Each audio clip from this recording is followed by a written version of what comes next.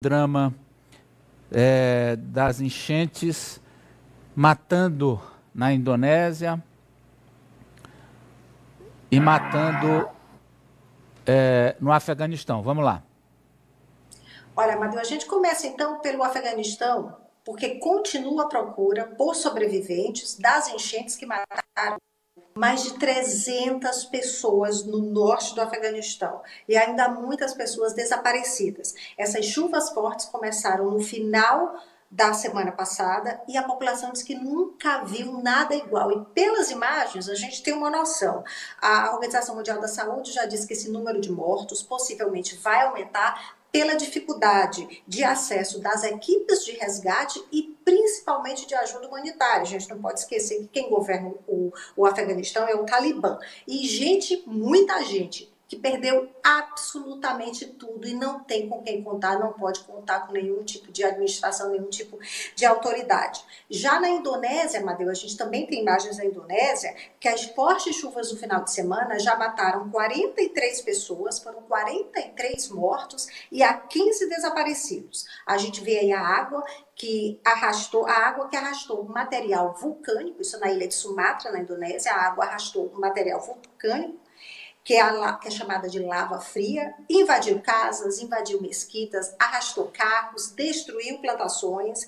A, a situação mais forte foram, foi nos distritos de Agan e Tanah A, o período de chuva da Indonésia é de outubro a março.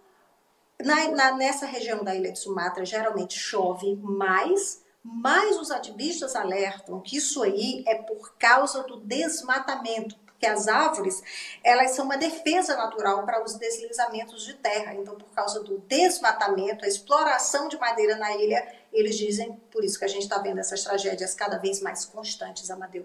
Todos aqui têm muita preocupação, uma preocupação genuína com o meio ambiente, mas ninguém mais do que a Policlima.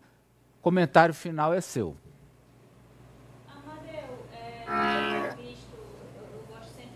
De analisar como o usuário das redes, por exemplo, ou como a população média analisa esse tipo de situação.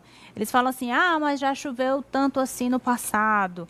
Ah, mas isso já aconteceu há não sei quantos anos. Ah, já teve episódio assim. A gente está falando de aumento da frequência desses episódios. A gente está falando da intensidade desses episódios. O caso do Rio Grande do Sul, em 1941 foram dias, semanas de chuva, semanas inteiras. A gente está falando de quatro dias de chuva que levaram aquele problema inicial.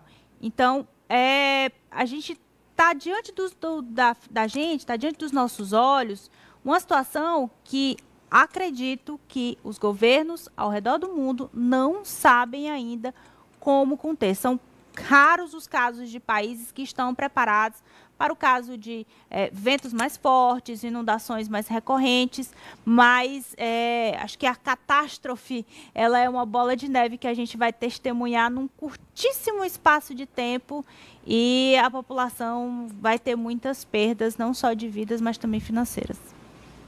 Obrigado, Socorro Sampaio. Até amanhã.